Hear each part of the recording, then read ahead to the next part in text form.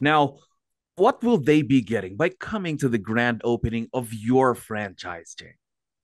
Okay, well, they will be getting a better understanding of exactly what we can do. Uh, they'll get a picture of, of, how the company operates. And uh, also, just as a little sideline, we'll be having a few giveaways throughout the presentation. So we would hope that they would stay from the start to the finish, Gosh, which will gonna... be a fairly short presentation.